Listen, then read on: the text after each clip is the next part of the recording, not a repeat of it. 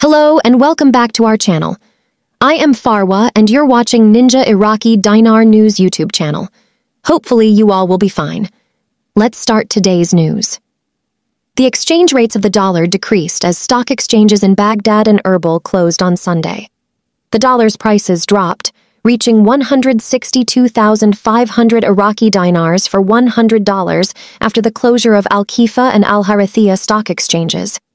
This is a decrease from the morning rates, which were at 163,000 dinars for $100.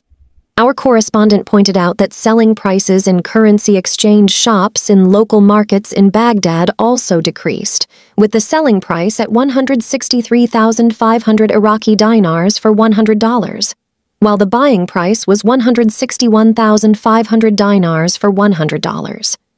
In Erbil, the dollar also experienced a decline, with the selling price reaching 162,750 dinars for $100 and the buying price at 162,650 dinars for $100.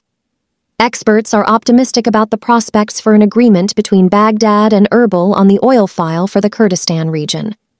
Oil expert Gorfid Sherwani said that the visit of the federal minister of oil to Erbil on Sunday reflects the seriousness of the Iraqi government.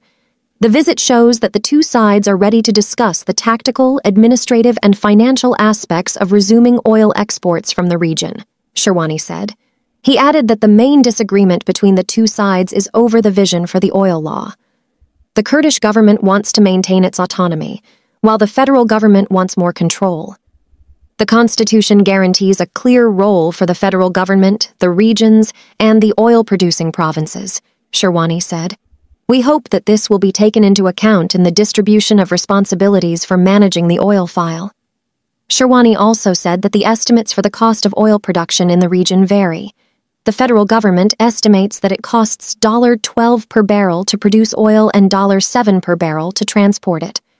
The Kurdistan regional government estimates that it costs 24 per barrel to produce oil and 8 per barrel to transport it. These figures are realistic and are in line with what is paid to foreign companies that sign a contract with the Federal Ministry of Oil, Sherwani said. That's it for today's news. Thank you so much for watching. Don't forget to like, subscribe, and hit the bell icon to stay updated with our latest videos. Until next time, this is Farwa from Ninja Iraqi Dinar News, signing off.